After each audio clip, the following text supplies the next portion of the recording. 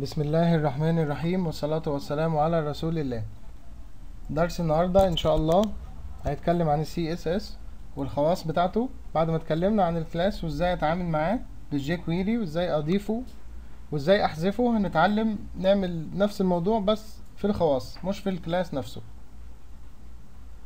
آه النهارده عندنا حاجتين من ال CSS أول حاجة إن أنا أجيب قيمة السي قيمة ال CSS الخاص بالعنصر وتاني حاجة إن أنا أعمل set للقيمة دي إن أنا أغيرها بمزاجي مش مجرد بس إن أنا أجيبها وأشوفها.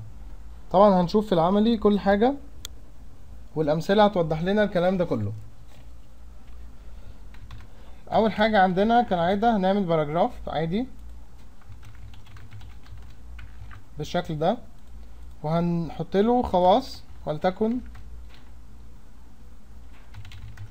background مثلا. لون أزرق وهنحط له color لون أبيض. قبل أي حاجة طبعا عايزين نشوف الشكل بتاعنا أهو. ده الشكل بتاعنا الخاص بال paragraph نحط شوية خواص كده تغير شكله. وليكن بالشكل ده. طيب أول حاجة هنتعلمها هي إزاي نجيب الخواص س الخاصة بعنصر. طيب هنيجي هنا.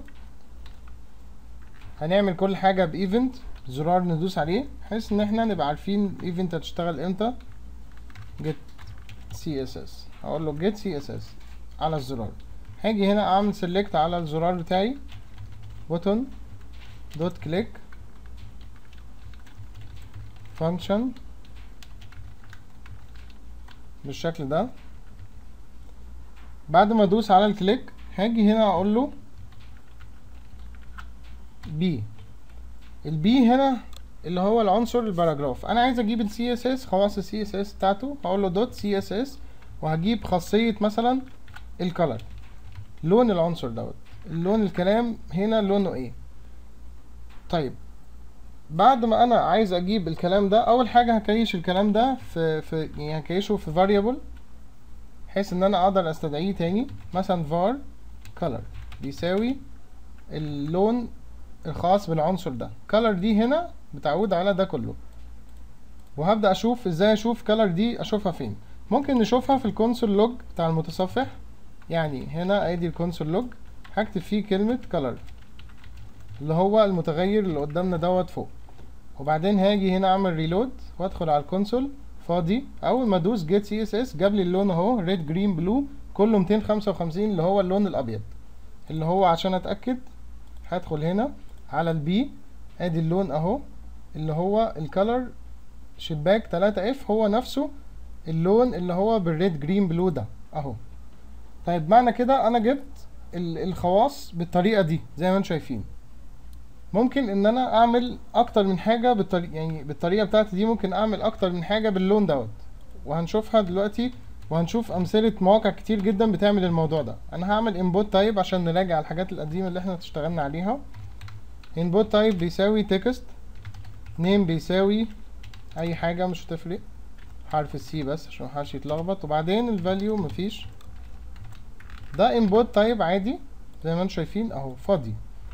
آه ممكن أنا آجي هنا في الكود وهقول له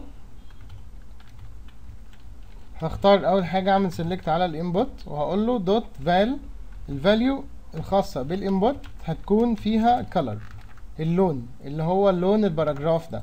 هعمل reload أدوس get CSS جاب لي اللون أهو جوه جوه ال input field زي ما أنتم شايفين وجابهولي في ال console log برضه.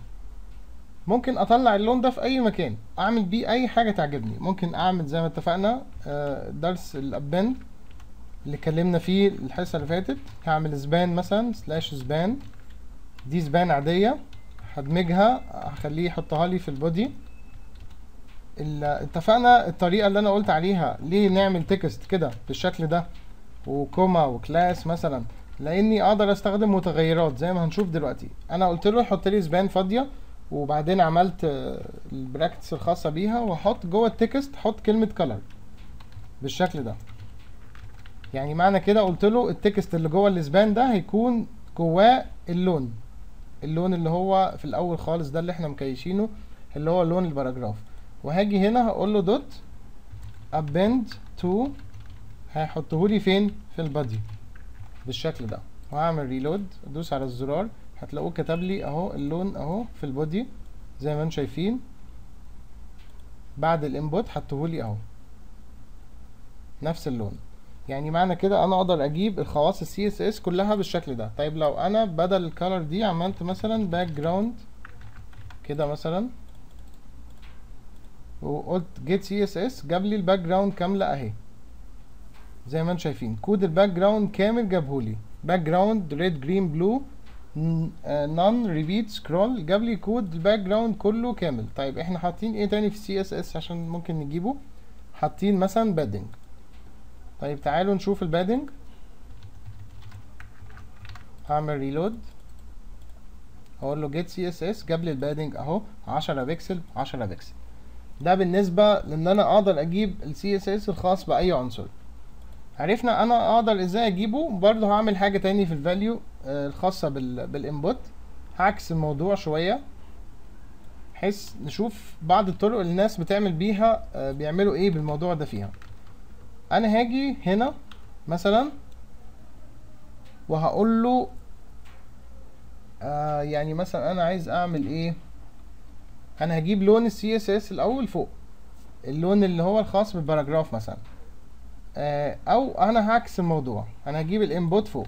ال input عندي فاضي. ال value بتاعته فاضية. اهي. Okay. قلت له لما تدوس على الزرار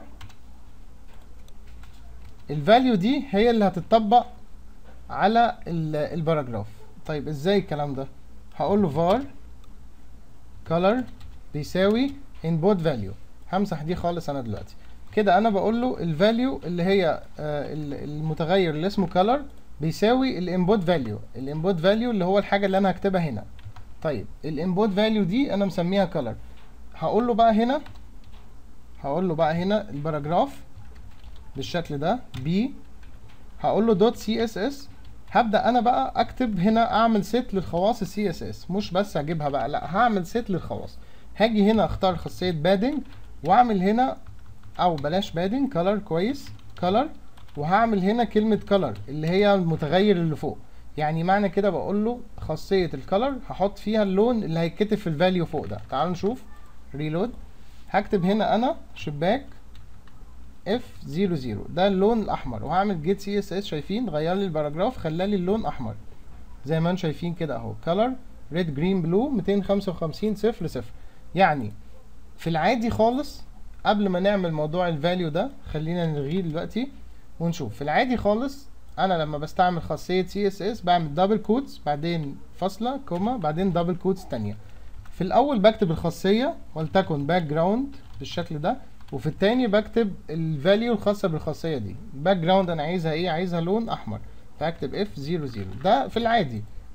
كده. هدوس get عملها لي أهي زي ما أنتم شايفين أحمر بدل أزرق. عمل لي ال background red green blue اهي. اللي هي فوق دي. ولغى الأزرق اللي أنا أصلا عامله في ال CSS يعني عرفنا إزاي أحط خاصية من خواص ال CSS بال jQuery بالشكل ده. طيب بالنسبة للي عنده أكتر من خاصية هنرجع بقى للي إحنا كنا بنعمله في الدرس ال animate وهنعملها بالشكل ده. هنلغي ده كله وهنعملها بالشكل ده. كده أنا أقدر أكتب أكتر من خاصية. لو عندي أكتر من خاصية CSS أقدر أكتبها بالشكل ده. يعني وبرده نفس الموضوع ممكن أعمل كده نقطتين وأعملها كده وأكمل. عادي. background أهي. شباك F 00 ده اللون الأحمر. إيه تاني عايز أعمله مثلا؟ آه color. نقطتين. ممكن أعمل إيه في ال color مثلا غير ال- الأبيض. ممكن أعمله أسود. بالشكل ده. وهعمل reload وأدوس زي ما أنتم شايفين لون أحمر ال background والكلام نفسه أسود. طيب ممكن أرجع آخد حاجة من دول تكون متغير من المتغيرات اللي فوق نجرب. ال padding دلوقتي عندي عشرة بكسل. هعمل هنا متغير اسمه padding وأخلي ال input value اللي هو padding ده يغيرهولي هنا. هقول له padding يساوي المتغير اللي هو اسمه padding اللي هو هيجيبولي من فوق هنا. اللي هو أنا هكتبه بمعنى أصح هنا. لو ما كتبتش حاجة زي كده مش هيعمل حاجة. طب لو كتبت عشرين بكسل وادوس get CSS شايفين زود لي ال padding أهو. بقى padding عشرين بكسل ولغى العشرة اللي أنا أصلا كاتبهم في الدرس في CSS. طب لو كتبت أربعين pixel padding ودوست get CSS عمل لي ال padding. نفس الموضوع. طيب يعني معنى كده كل حاجة أنا أكتبها هنا أقدر أستعملها كخواص margin مثلا أو حرف ال M بس ده مجرد متغير.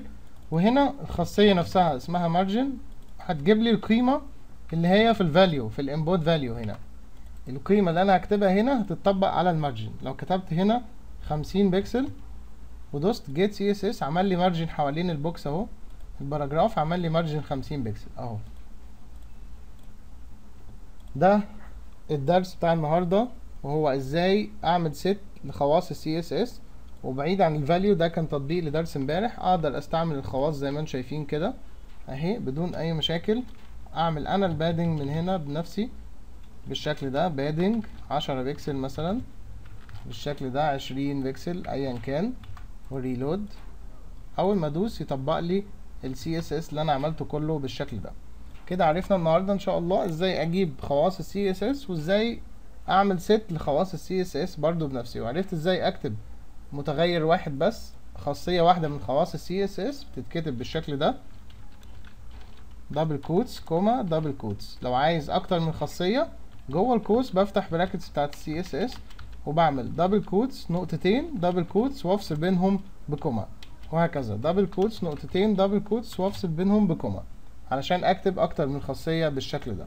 وأتمنى إن شاء الله يكون الدرس سهل وعجبكم وأشوفكم الدرس الجاي إن شاء الله. وشكرا.